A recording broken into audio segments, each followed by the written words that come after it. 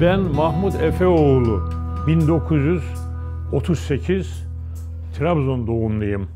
Ben Merkez Uğurlu köyünde dünyaya geldim efendim ve ilkokulu okurken e, babam e, bakırcı, akrabadan gelen bir meslek. O da akrabalarından öğrenmiş. Babamın yanında e, bakırcılığı öğrenmeye başladım. Ve 1957 yılında e, burayı, bu iş yerini imalat ve ticaret olarak açtık. O gün bugün bakırcılığa halen devam ediyoruz. Efendim, önceleri mutfak eşyası üzerine çalışırdık. Mutfak eşyası düğün bakırı alırdılar.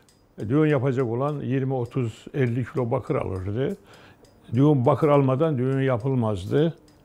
Ve son zamanlara doğru e, düğün bakırından e, azaldı. Ve 55 yıldan beri, 54 yıldan beri camilere minare alemi yapıyorum. Efendim, ve onunla devam ediyorum. Şu anda Türkiye'nin çok vilayetlerinde e, minare alemlerim camilerde mevcuttur. Yani doğudan al, batıdan al, Trakya'dan al, Van'dan al, Erciş'ten al, Urfa'dan al. Mesela şöyle birkaç tane örnek verdim. Ankara, İstanbul zaten başta büyük şehirlerimiz. Ve e, bugün gene işimi severek çalışıyorum. İşimi severek çalışıyorum. E, böyle devam ediyorum efendim.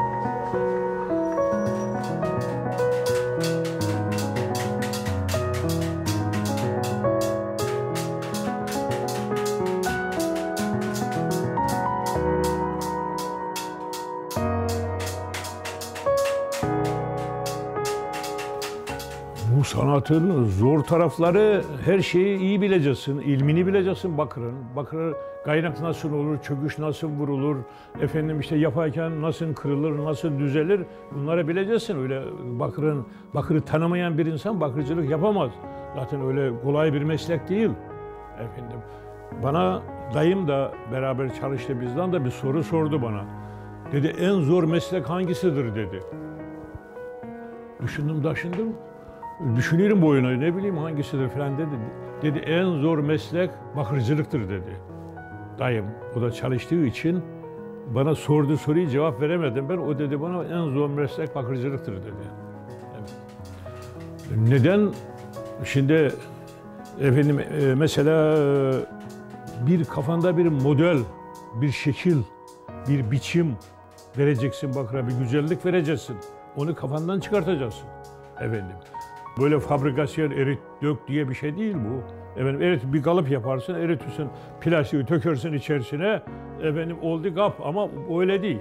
Bu mesela 10 tane güğüm yapsan belki daha birbirine çok biraz benzerler ama çok benzemezler. Hepsine ayrı bir şekil. Çünkü hepsi elde yapılıyor.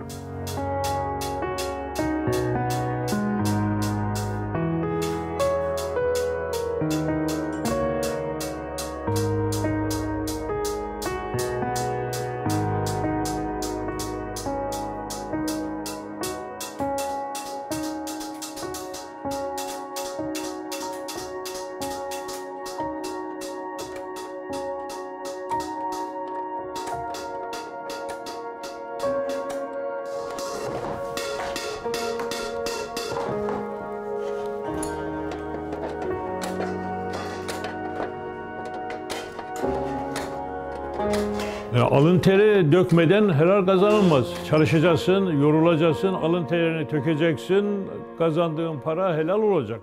Efendim öyle havadan para kazanmak helal olmaz. Efendim. Mesela şöyle bir şey var. Mesela bu malı kaç aldım? 10 kuruşa. Bunu ben satarım 12 kuruşa. Efendim 15'i yukarı geçtiği zaman bunu 10 kuruş al da 20 kuruşa satmaya kalkarsan bu oldu haram. Haram. Efendim bir kar hakkı koyar üzerine satarsın tabii. Satan da bir şey kazanacak. E,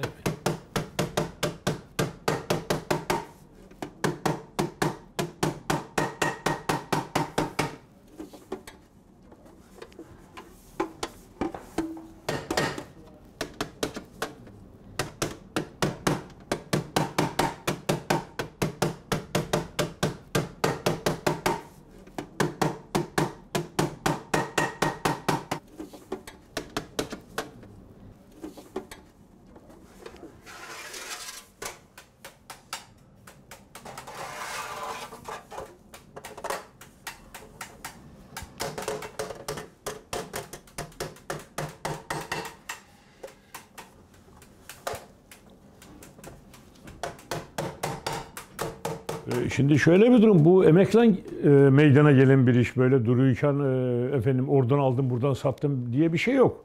Mesela şu anda bak sabahtan geldim hemen minare alemi, dört tane minare aleminin borularını kestim. Şurada yerde parçaları ve bunları şimdi ek, kaynatacağım, e, şey edeceğim, döveceğim, hazırlayacağım. İşte dört tane minare alemi yapmaya başladım efendim. E, Böyle çalışmalar oluyor, emeklen oluyor. Öyle bedava iş yok. Bak baksana bak ellerine bak. E, Hiç böyle her zaman simsiyah dururlar. Efendim çünkü bakırı tuttuğun zaman elin siyahlanıyor. E ara sırada eldiven kullanıyorum. Ondan devamlı uğraşamıyorum. Efendim böyle.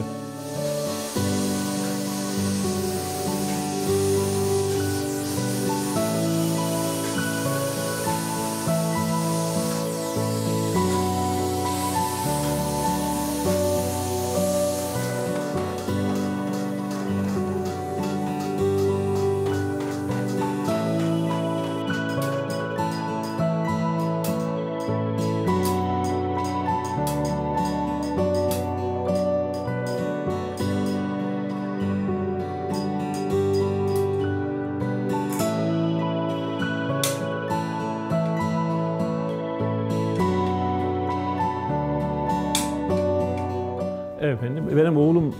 Oğlum torunum da bu işten e, bana yardımcı oluyorlar. Bazı yerlerde yardımcı oluyorlar ve e, bu işin devamını onların yapması üzere ben şey diyorum. Yani ben şu anda yaşım 81 efendim kaç yıl daha gideceğimiz belli değil ama benden sonra oğlum torunum aynı işe yapabilecek kapasite onları da yetiştirdim.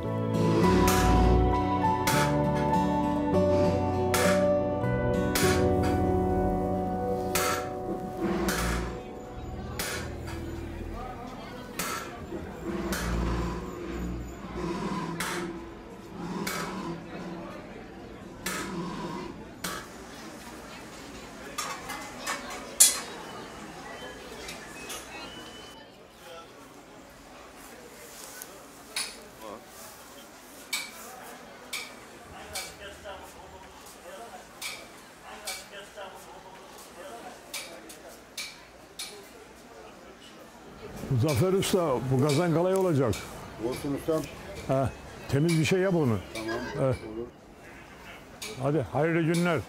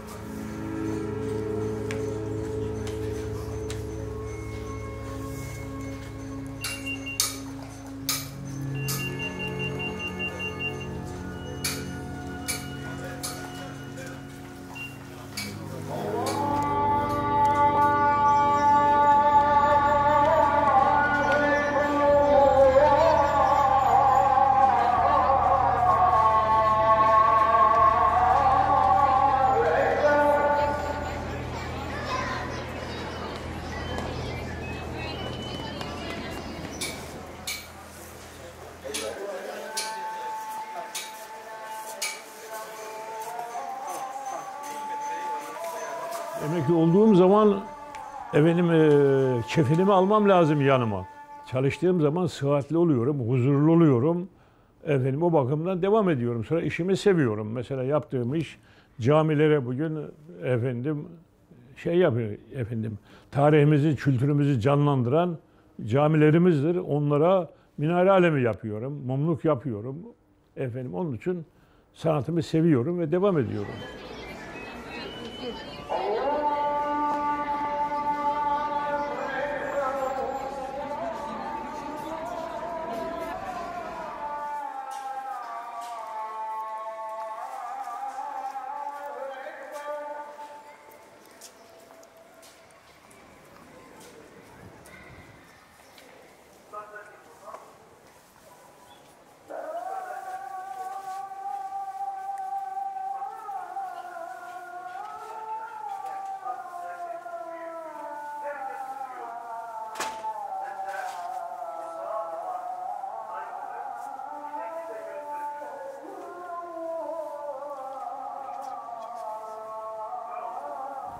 İlk önce insanda Allah korkusu olacak.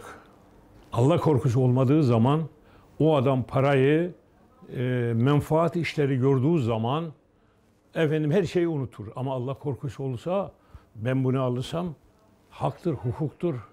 Efendim bunu ilk defa e, temel eğitimden haktır, doğrudur, adalettir, yalan konuşulmaz. Bunları öğrenmek lazım.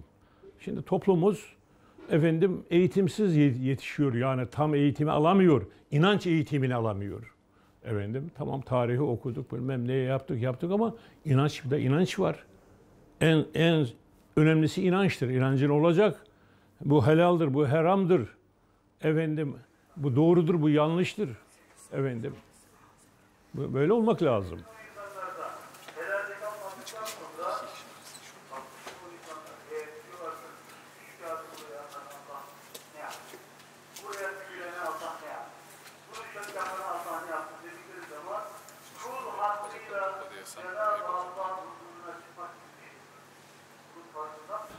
Allah'a hayırlı uzun ömür, üç gün yatak, dört gün teneşür.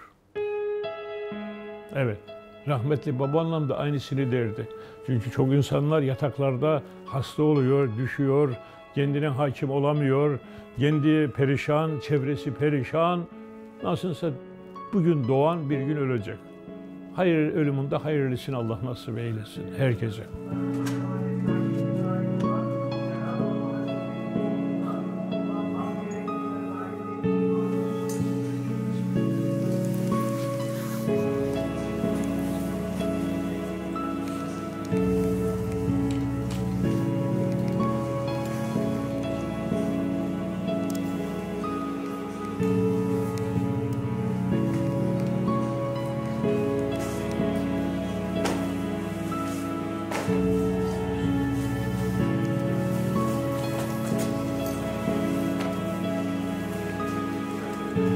Okula gittiğimiz zaman yiyecek doğru dürüst yok.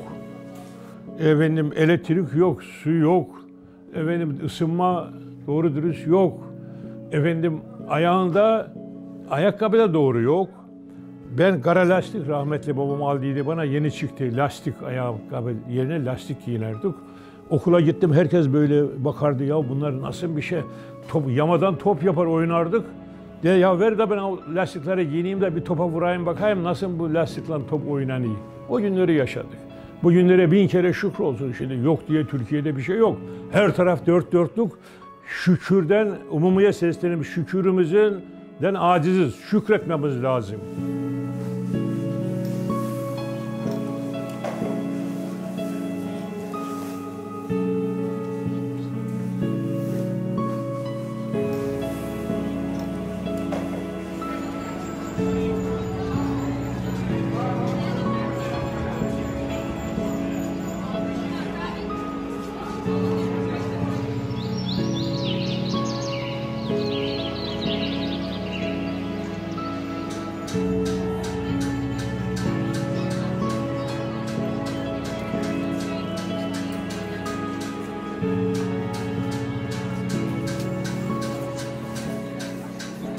İlkokula giderdik. Yusuf Günger diye bir öğretmenimiz vardı. Ankara'dadır. Öldüyse Allah rahmet eylesin. Kaldıysa ona selamlar olsun. Bize bir ezber verdi. Bir şiir. O şiiri ilkokulda okudum ve birinci olarak alkışlandım. E, isterseniz ondan bir iki parça diyeyim size. Efendim, e, bir mahmuzda atlara hazarda su veririz. Esmesin 20 milyon yel soğanlı dağından biz barışın savaşın kıvancını biliriz. Bu tavsiye mektubu sana Türk uşağından. Trabzon'la Giresun, Rize aslan yurdudur. Karaköse Bayazıt, Van Akıncı koludur. Türk'ün Yılmaz Başbuğu çıkmasın otağından. Unuttun mu yoksa sen Erzurum Dadaşını, 93 kahramanı, Fatma'nın savaşını, bil ki hep mezar eder toprağını, taşını. Boğaz, Türk'ün boğazı, Trakya kellesidir. Ankara yurdun kalbi, yurdonun nefesidir. Abdülgan'ın bu sesi milyonların sesidir. Ve bunu okudum. Okulda kimse ezberleyemedi bunu. Öğretmen verdi. İşte cumartesi verdi, pazartesi ezber olacak. Biz okuduk bunu efendim. O gün bugün hafızamda duruyor.